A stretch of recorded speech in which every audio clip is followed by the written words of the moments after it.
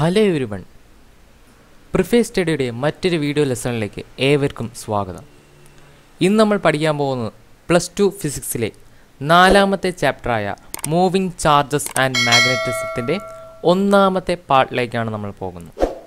അപ്പോൾ നമ്മൾ ആദ്യത്തെ പാഠത്തിൽ എന്തൊക്കെയാണ് പഠിച്ചത്? ഫസ്റ്റ് ചാപ്റ്ററിൽ നമ്മൾ ചാർജ് സ്റ്റാറ്റിക് സിറ്റുവേഷൻ നിൽക്കുമ്പോഴുള്ള കാര്യങ്ങളായിരുന്നു പഠിച്ചത്. രണ്ടാമത്തെ ചാപ്റ്ററിൽ ആ സ്റ്റാറ്റിക് സിറ്റുവേഷൻ നിൽക്കുന്ന ചാർജിൽ മറ്റൊരു ചാർജ് കൊണ്ടുണ്ടാകുന്ന പൊട്ടൻഷ്യൽ ഓക്കെ ഒരു ചാർജിന്റെ സ്റ്റാറ്റിക്കായിട്ട് നിൽക്കുന്ന ഒരു ചാർജിന്റെ പൊട്ടൻഷ്യലിനെ പറ്റിയായിരുന്നു നമ്മൾ രണ്ടാമത്തെ ചാപ്റ്റർ ഇലക്ട്രോസ്റ്റാറ്റിക് പൊട്ടൻഷ്യൽ അതുപോലെ കപ്പാസിറ്റൻസ് ആ കാര്യങ്ങളൊക്കെയായിരുന്നു നമ്മൾ രണ്ടാമത്തെ ചാപ്റ്റർ പഠിച്ചത്. മൂന്നാമത്തെ ചാപ്റ്ററിൽ ചാർജ് മൂവിങ് ആണ്. സ്റ്റാറ്റിക് സിറ്റുവേഷനില്ല ചാർജ് മൂവ് ചെയ്യുമ്പോഴുള്ള കാര്യങ്ങളായിരുന്നു മൂന്നാമത്തെ ചാപ്റ്റർ അതായത് കറണ്ട് ഇലക്ട്രിസിറ്റിയിൽ പഠിച്ചത്. അപ്പോൾ നാലാമത്തെ ചാപ്റ്ററിൽ നമ്മൾ പഠിക്കാൻ പോകുന്നത് ഇങ്ങനെ മൂവ് ചെയ്യുന്ന ചാർജസിന് മാഗ്നറ്റിക് ഫീൽഡ് ഉണ്ടാവും. മൂവ് ചെയ്യുന്ന ചാർജസിന് എന്താണ്? മാഗ്നറ്റിക് ഫീൽഡ് ഉണ്ടാവും. അതിനെ പറ്റിയാണ് നമ്മൾ ഈ നാലാമത്തെ ചാപ്റ്ററായ മൂവിങ് ചാർജസ് ആൻഡ് മാഗ്നറ്റിസം എന്ന ടോപ്പിക്കിൽ ഡിസ്കസ് ചെയ്യാൻ പോകുന്നത്. ഓക്കെ അപ്പോൾ നമുക്ക് നേരെ വീഡിയോയിലേക്ക് കിടക്കാം.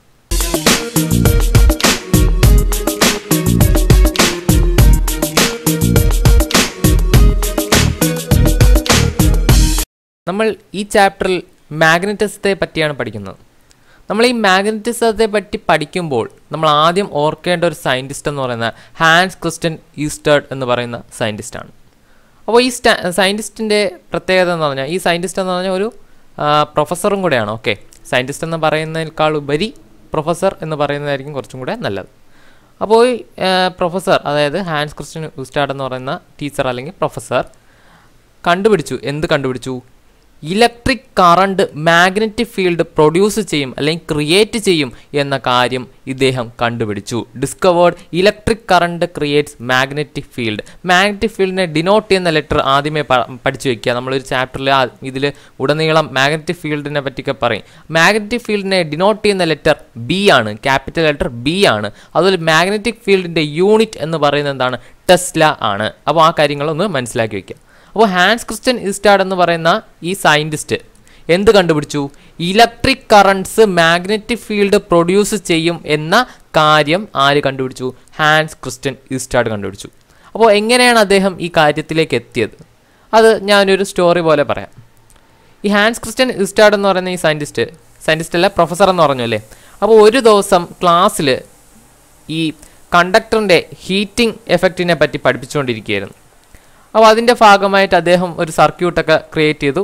ഒരു കണ്ടക്ടറിനെ ഒരു കണ്ടക്ടറിനെ ഒരു ബാറ്ററിയിൽ കണക്ട് ചെയ്ത് വെച്ചൊക്കെ പഠിപ്പിച്ചു കൊടുത്തു. പഠിപ്പിച്ചു കൊടുത്തതിന് ശേഷം അദ്ദേഹം ഈ അപ്പാരറ്റസിനെ ഒരു സ്ഥലത്ത് കൊണ്ടുവച്ചു അപ്പോൾ അതിന്റെ അടുത്ത് ഒരു കോമ്പസും ഉണ്ടായിരുന്നു. അറിയാലോ മാഗ്നറ്റിക് കോമ്പസ് അപ്പോൾ അദ്ദേഹം നോക്കിയപ്പോൾ ഈ കോമ്പസിന്റെ നീഡിൽ ഡിഫ്ലക്റ്റ് ചെയ്യുന്നതായി കണ്ടു. അപ്പോൾ ഈ എന്താണ് ഈ അപ്പാരറ്റസിനെ അദ്ദേഹം മാറ്റി മാറ്റിയപ്പോൾ എന്താണ് ഇതിന്റെ നീഡിൽ ശരിയായിട്ടൊന്ന് വീണ്ടും കൊണ്ടുവച്ചു അപ്പോൾ വീണ്ടും ഡിഫ്ലക്റ്റ് ചെയ്തു. അപ്പോൾ അദ്ദേഹം അതിൽ നിന്ന് കണ്ടെത്തി അതായത് മാഗ്നറ്റിക് ഫീൽഡ് ഡിഫ്ലക്റ്റ് ചെയ്യണമെങ്കിൽ നമ്മൾ ആ കണ്ടക്ടറിൽ എന്തോ മാഗ്നറ്റിക് ഫീൽഡ് ഉണ്ടായിരിക്കണം. അപ്പോൾ മാഗ്നറ്റിക് ഫീൽഡ് ഈ കണ്ടക്ടറിൽ ഉണ്ടായത് കാരണമാണ് എന്ത്? ഈ എന്താണ് ഈ കോമ്പസിലെ നീഡിൽ ഡിഫ്ലക്റ്റ് ചെയ്യാൻ കാരണം. അപ്പോൾ അതിൽ നിന്നും അദ്ദേഹം കണ്ടെത്തിയ കാര്യം ഇതാണ്. ഇലക്ട്രിക് കറണ്ട് ഒരു സർക്യൂട്ട് അല്ലെങ്കിൽ ഈ കണ്ടക്ടറിലൂടെ പാസ് ചെയ്യുമ്പോൾ അവിടെ മാഗ്നറ്റിക് ഫീൽഡ് പ്രൊഡ്യൂസ് ചെയ്യുന്നു. അതുകൊണ്ട് മാത്രമാണ് ഇതിലെ എന്താണ് ഈ കോമ്പസിലെ നീഡിൽ ഡിഫ്ലക്റ്റ് ചെയ്യാൻ കാരണം. അപ്പോൾ അതിൽ നിന്നും ക്രിസ്റ്റ്യൻ ഹാൻസ് ക്രിസ്റ്റ്യൻ ഈസ്റ്റാഡ് ഒരു കൺക്ലൂഷനിലെത്തി electric current creates magnetic field എന്ന കൺക്ലൂഷനിൽ അദ്ദേഹം എത്തി. അപ്പോൾ ഇതാണ് ഹാൻസ് ക്രിസ്റ്റൻ യൂസ്റ്റാഡിന്റെ കാര്യം എന്ന് പറയുന്നത്. ഓക്കെ അപ്പോൾ ഈ കോൺസെപ്റ്റ് മനസ്സിലാക്കി വെച്ചാൽ നമുക്ക് ബാക്കിയുള്ള കാര്യങ്ങളിലേക്ക് പോകാം അദ്ദേഹത്തിന്റെ ഈ കണ്ടുപിടുത്തം അല്ലെങ്കിൽ ഈ electric current creates magnetic field അതായത് ഇലക്ട്രിക് കറണ്ട് ഒരു കണ്ടക്ടർ കൂടെ പാസ് ചെയ്യുമ്പോൾ അവിടെ മാഗ്നറ്റിക് ഫീൽഡ് ഉണ്ടാകും എന്ന ഈ കണ്ടുപിടുത്തം പിന്നീടുള്ള മാഗ്നറ്റിക് ഫീൽഡിന് മാഗ്നറ്റിസത്തെ പറ്റിയുള്ള കാര്യങ്ങൾക്ക് ഒരു ബേസ്മെന്റായി മാറി എന്നതാണ് സത്യം. ഓക്കെ അപ്പോൾ നമുക്കിനി അടുത്ത കാര്യത്തിലേക്ക് കടക്കാം. അടുത്ത് നമ്മൾ പഠിക്കാൻ പോകുന്ന ടോപ്പിക് എന്ന് പറയുന്നത് ലോറൻസ് ഫോഴ്സ് ആണ്. എന്താണ് ലോറൻസ് ഫോഴ്സ് എന്ന് നമുക്ക് ആദ്യം പഠിക്കാം. അതിനു മുമ്പ് നമ്മൾ ഫസ്റ്റ് ചാപ്റ്ററിൽ നമ്മൾ ഡിസ്കസ് ചെയ്തൊരു കാര്യം ഇതാണ്. അതായത് ക്യൂ ചാർജ് ക്യൂ ചാർജ് ഒരു ഇലക്ട്രിക് ഫീൽഡിൽ കൊണ്ട് വെച്ചിരിക്കുകയാണ് നമ്മളത് ആ ഇലക്ട്രിക് ഫീൽഡ് ഇന്റൻസിറ്റി എന്ന ടോപ്പിക്കിൽ നിങ്ങൾ നോക്കിയാൽ കാണാം. ഈ Q charge electric field E എന്ന് പറയുന്ന ഇലക്ട്രിക് ഫീൽഡ് വെച്ചിരിക്കുമ്പോൾ അവിടെ ഉണ്ടാകുന്ന ചാർജിനുണ്ടാകുന്ന force F is equal to Q into E first ചാപ്റ്ററിലെ electric field intensity എന്ന ടോപ്പിക്കിൽ നോക്കിയാൽ നിങ്ങൾക്ക് ഈ ഇക്വേഷൻ കാണാൻ കഴിയും. ക്യൂ ചാർജ് ഇ എന്ന ഇലക്ട്രിക് ഫീൽഡ് ഉള്ളപ്പോൾ ആ ഇ എന്ന ഇലക്ട്രിക് ഫീൽഡിൽ ക്യൂ ചാർജ് വെച്ചിട്ടുണ്ടെങ്കിൽ ആ ക്യൂ ചാർജിൽ ഉണ്ടാകുന്ന force F is equal to Q into E എന്നാണ് ആ ഫോർമുല അപ്പോൾ ഇവിടെ എഫ് എന്ന് പറയുന്നത് എന്താണ്? ഇലക്ട്രിക് ഫീൽഡ് കൊണ്ടുണ്ടാകുന്ന ഈ ചാർജിൽ ഉണ്ടാകുന്ന ഫോഴ്സ് ആണ് F is equal to Q into E first ചാപ്റ്ററിൽ ഇലക്ട്രിക് ഫീൽഡ് ഇന്റൻസിറ്റി എന്ന ടോപ്പിക്കിൽ നമ്മൾ പഠിച്ച കാര്യമാണ്. ഓക്കെ ഇനി മറ്റൊരു കാര്യം. ക്യൂ ചാർജ് ബി എന്ന് പറയുന്ന ബി എന്താണ്? Magnetic field q charge B എന്ന് പറയുന്ന മാഗ്നറ്റിക് ഫീൽഡിൽ കൂടി വി വെലോസിറ്റിയിൽ മൂവ് ചെയ്യുകയാണെങ്കിൽ ഓക്കെ കണ്ടീഷൻ മനസ്സിലാക്കുക ക്യൂ എന്ന് പറയുന്ന ചാർജ് ബി മാഗ്നറ്റിക് ഫീൽഡിൽ കൂടി വി വെലോസിറ്റിയിൽ മൂവ് ചെയ്യുകയാണെങ്കിൽ അവിടെ ആ ചാർജായ ക്യൂ ചാർജിൽ ഉണ്ടാകുന്ന ഫോഴ്സിന്റെ ഇക്വേഷൻ ഇതാണ്. F is equal to Q into B cross B അതാണ് ഇവിടുത്തെ ഇക്വേഷൻ എന്ന് പറയുന്നത്. അപ്പോൾ രണ്ട് ഇക്വേഷൻസ് നമുക്ക് കിട്ടിക്കഴിഞ്ഞു.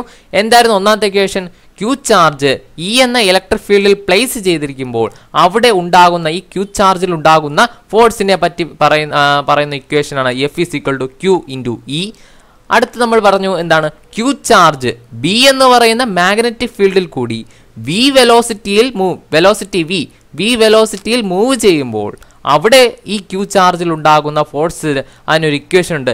F is equal to Q to B V വെലോസിറ്റിയുടെ V V cross B ആണ്. ബി എന്ന് പറയുന്ന മാഗ്നറ്റിക് ഫീൽഡ് ആണ്. അപ്പോൾ ബി എന്ന് പറയുമ്പോൾ തന്നെ ഇനി മാഗ്നറ്റിക് ഫീൽഡ് എന്ന് ഓർത്ത് വേണം അതിനാണ് ഞാൻ ആദ്യമേ മാഗ്നറ്റിക് ഫീൽഡിനെ ഡിനോട്ട് ചെയ്യുന്ന ലെറ്റർ ബി എന്ന് പറഞ്ഞത്. ഓക്കെ ബി എന്ന് പറയുന്ന മാഗ്നറ്റിക് ഫീൽഡാണ് ഓക്കെ അപ്പോൾ ഇവിടെ ഉണ്ടായ ഈ ഫോഴ്സ് അതായത് ക്യൂ എന്ന ചാർജ് ബി എന്ന് പറയുന്ന മാഗ്നറ്റിക് ഫീൽഡിൽ കൂടി വി വെലോസിറ്റിയിൽ സഞ്ചരിക്കുമ്പോൾ ക്യൂ ചാർജിൽ ഉണ്ടാകുന്ന ഫോഴ്സായ നമ്മളിപ്പോൾ ഇവിടെ എഴുതിയ Q into V cross B എന്ന് പറയുന്ന ഈ ഫോഴ്സിനെ പറയുന്ന പേരാണ് മാഗ്നറ്റിക് ലോറൻസ് ഫോഴ്സ് എന്ന് പറയുന്നത്. മാഗ്നറ്റിക് ലോറൻസ് ഫോഴ്സ് അത് നമ്മളിപ്പോൾ നമ്മൾ ആ ടോപ്പിക്കിൽ എത്തിയില്ല. ലോറൻസ് ഫോഴ്സ് ആണ് നമ്മളെ ടോപ്പിക്ക് നമ്മളിവിടെ എത്തി നിൽക്കുന്നത് മാഗ്നറ്റിക് ലോറൻസ് ഫോഴ്സ് ആണ്. എന്താണ് മാഗ്നറ്റിക് ലോറൻസ് ഫോഴ്സ് വ്യക്തമായി തന്നെ മനസ്സിലാക്കുക.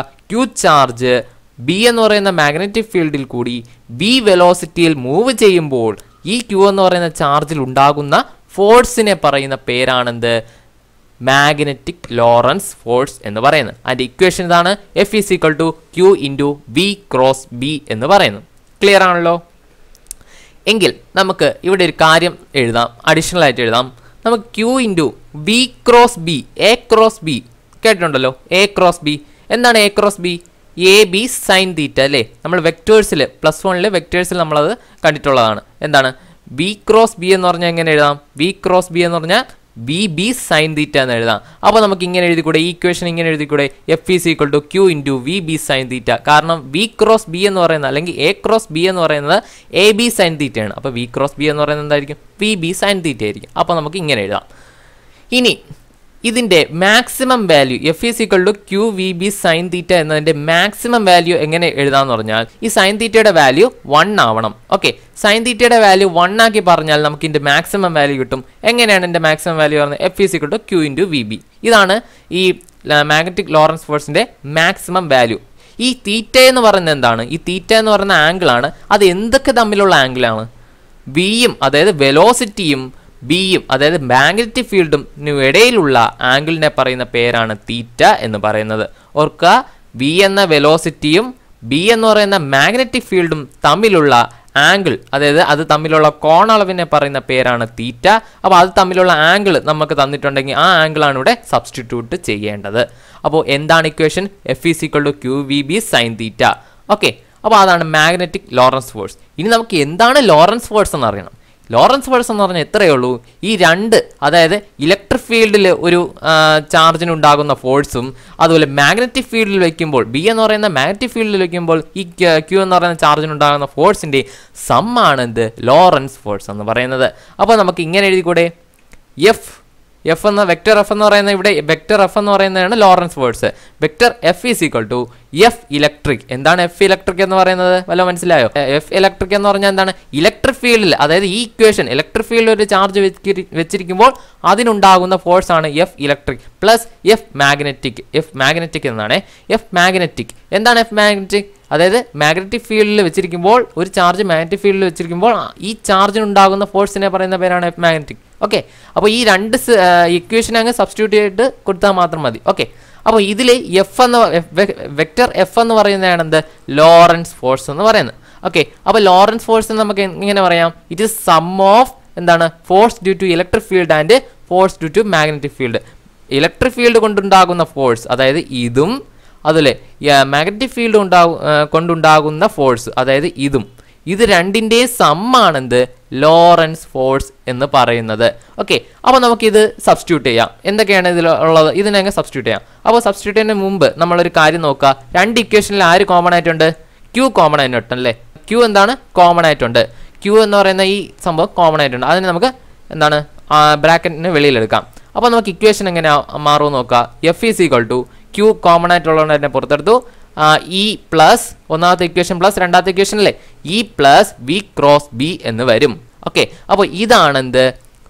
ലോറൻസ് ഫോഴ്സിന്റെ ഇക്വേഷൻ എന്ന് പറയുന്നത്. ഓക്കെ സോ ഇത്രയേ ഉള്ളൂ ഇന്നത്തെ ടോപ്പിക്കിൽ ഞാൻ ഡിസ്കസ് ചെയ്യാൻ ഉദ്ദേശിച്ചത്. ചെറിയ ടോപ്പിക്കാണ് ആദ്യത്തെ ക്ലാസ് ആയതുകൊണ്ട് കുറച്ച് ടോപ്പിക്ക് നമ്മൾ ഇൻക്ലൂഡ് ചെയ്തിട്ടുള്ളൂ. അപ്പോൾ ഈ വീഡിയോ നിങ്ങൾക്ക് ഇഷ്ടമായെങ്കിൽ ലൈക്ക് ചെയ്യുക. എന്റെ ചാനൽ സബ്സ്ക്രൈബ് ചെയ്യാത്തവരാണെങ്കിൽ ഉടൻ തന്നെ സബ്സ്ക്രൈബ് ചെയ്ത് അടുത്തുള്ള ബെൽ ഐക്കൺ കൂടി എനേബിൾ ചെയ്ത് വെച്ചാൽ തുടർന്ന് ഞാൻ അപ്ലോഡ് ചെയ്യുന്ന വീഡിയോസ് നിങ്ങൾക്ക് നോട്ടിഫിക്കേഷൻ നോട്ടിഫിക്കേഷൻ ബാറിൽ ലഭിക്കുന്നതാണ്. Okay thank